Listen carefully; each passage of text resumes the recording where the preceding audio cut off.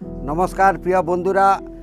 আমার ছাদ বাগানে এখন যে ফুলটা দেখছেন এর আইডি নেম হলো কসমস এর দুটো ভ্যারাইটি রয়েছে। এটা হচ্ছে টল সাইজের গাছ। এর গাছটা দেখছেন, একটু লম্বা সাইজের হয়।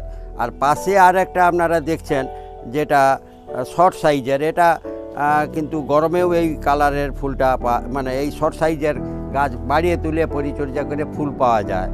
আজকে আমি এই কসমস গাছের পরিচর্যার বিষয় নিয়ে আপনাদের সাথে থাকছি। আপনারা আমার সাথে থাকুন। খুব সহজ পদ্ধতি, আপনারাও এইভাবে ছাদ বাগান ভরিয়ে তুলতে পারবেন। বন্ধুরা, দেখুন, আমি একটা ফলের ঝুড়িতে যেটা বসিয়েছি, একটা ফলের ঝুড়িতে সাদা একটা গাছ বসিয়েছি। এই গাছের মাটি প্রস্তুতি বিষয়ে আর বলছি না। আগের ভিডিও রয়েছে, যে কোনো শীতকালীন গাছের মাটি প্রস্তুতি যেমন সেইভাবে আপনারা মাটি প্রস্তুত করে নেবেন। আর এই গাছের পাতারগুলো দেখুন, পাতাগুলোর একটা সৌন্দর্য আছে যেটা দেখলে মনেই হচ্ছে না যে এগুলো পাতা। পাতাগুলো খুব সুন্দর তার আকার আকৃতিটা। এটা যখন গাছে শুধু পাতায় ভরেছিল, তখনও একটা এর দেখার বিষয় থাকে। আর তাছাড়া ফুল ফোটার সময় তো অবশ্যই দেখছেন যে ফুলের সৌন্দর্য নিশ্চয়ই খুব সুন্দর, আপনাদের মুগ্ধ করবে। এখানে আমি যে চারাগুলো বসিয়েছিলাম, দেখুন চার পাঁচটি কালার হয়েছে, যেটা লম্বা, টল সাইজের, গাছের হাইটটা দেখছেন, তিন ফুটের মতো হাইট হয়েছে। তা সেক্ষেত্রে গাছগুলোকে একটু সাপোর্টিং করার জন্য চারটা কাঠি বেঁধে, সুতো দিয়ে বেঁধে রাখছি, এইভাবে পরিচর্যা করতে হবে। আর এক্ষেত্রে ফুল আসার সময় যেটা করে থাকি সেটাই করেছি, আপনারাও করবেন। ব্যালেন্স নিউট্রেন যেটা এম এনপিকে উনিশ উনিশ উনিশ বা কুড়ি কুড়ি কুড়ি, জলে গুলিয়ে স্প্রে জলে গুলিয়ে মাটিতে দিবেন, সেটাই করেছি। এবার ফুলের সৌন্দর্য বিষয়ে আমি আর বলছি না, আপনারা একে একে দেখুন, একটা একটা করে দেখুন। প্রথমে যে কালারটা রয়েছে, এটা হচ্ছে লাইট পিঙ্ক কালার এখানে বার রয়েছে, দুটো ফুল ফুটেছে, এক লাইট পিঙ্ক কালার, তার পাশে দেখছেন white pink colour white colour, যেটা পিওর হোয়াইট এবং পাঁপড়িগুলো দেখুন খুব ট্রান্সপারেন্ট পাঁপড়ি খুব পাতলা পাঁপড়ি এবং এই জন্য এর সৌন্দর্য। আর তারপরে দেখছেন যে, যেটা ডিপ পিঙ্ক এবং সব ফুলের কিন্তু মাঝখানটা একটু গম্বুজ আকৃতি এবং ইয়েলো আইস কালার, সব ফুলেই রয়েছে। দেখুন যেটা সূর্যমুখীর ন্যায়, মাঝখানটা একটু গম্বুজ আকৃতি রয়েছে। আর এদিকে আর একটা লাইট এবং ডিপের দুটো কম্বিনেশন করে আরেকটা কালার রয়েছে। এটা আর একটা ভ্যারাইটি এইভাবে চারটা ভ্যারাইটি রয়েছে। বন্ধুরা আর একটা গাছ দেখুন, এই যে এই গাছটা, যেটা বার একটা এসেছে আর এখনও তার অগ্রভাগে ঠিকভাবে এখনও বার হয়নি এই রকম এইগুলো রয়েছে।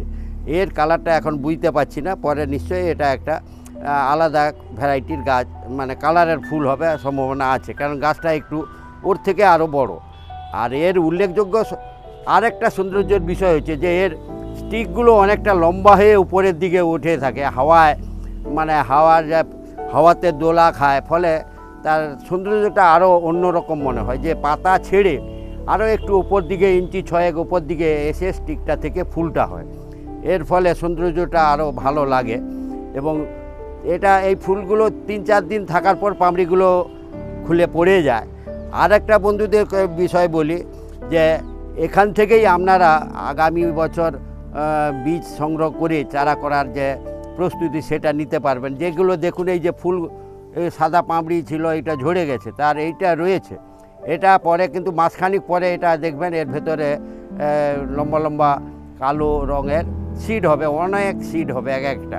এরকম চার পাঁচটা কালারের সিড আপনি যদি সংগ্রহ করে রাখেন, তাহলে পরের বছর আর নার্সারির উপর নির্ভর না করে আপনি আপনার মতো করে প্রয়োজন মতো চারা তৈরি করে আবার তার বাগান ভরিয়ে তুলতে পারেন। এক্ষেত্রে এই সুবিধাটা আছে, এর বীজগুলো যথেষ্ট বড় এবং যেভাবে হোক আপনি রাখুন অযত্ন করেও রাখলে তারপরে কিন্তু আপনি ওই দুর্গাপূজার সময় বীজ থেকে চারা তৈরি করবেন। দেখবেন খুব সহজেই চারা তৈরি হয়ে যাবে। কসমসের আর একটা ভ্যারাইটি এই একটা টবে আমি দুটো বসিয়েছিলাম, এই গাছটা নষ্ট হয়ে গেছে।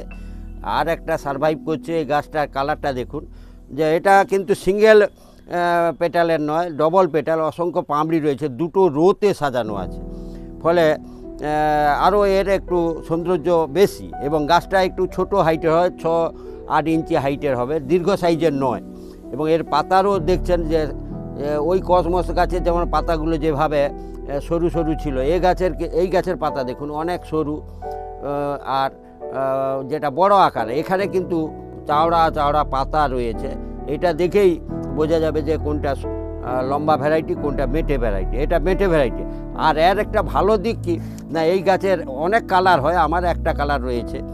আর এর অরেঞ্জ কালার একটা হয়। তো এর ভালো দিক হলো যে এটা গরমেও, গ্রীষ্মকালেও ওই গাছে পরিচর্যা করে বাড়িয়ে তার সৌন্দর্য পাওয়া যায়। পরে আমি আপনাদের সঙ্গে গ্রীষ্মকালে যে পরিচর্যা বা তার সৌন্দর্য সেই নিয়ে শেয়ার করব। এতক্ষণ ধরে আমি আপনাদের সঙ্গে কসমস গাছের লম্বা এবং মেটে ভ্যারাইটির যে ফুলের সৌন্দর্য নিয়ে শেয়ার করলাম। আপনারা সময় অতিবাহিত করলেন আমার সাথে সেই জন্য আপনাদের অসংখ্য ধন্যবাদ। আর আপনারা এইভাবে পরিচর্যা করে আপনারাও ছাদ বাগানে ফুলে ফুলে ভরিয়ে তুলুন। আর যদি এই বিষয়গুলো আপনাদের মতের সঙ্গে সহমত হয়ে থাকে তাহলে আপনারা অন্যান্যদের, আত্মীয়দের, বন্ধুদের সঙ্গে কমেন্ট করুন শেয়ার করুন, আর সাথে সাথে সাবস্ক্রাইব করবেন পরবর্তী ভিডিও পাওয়ার জন্য।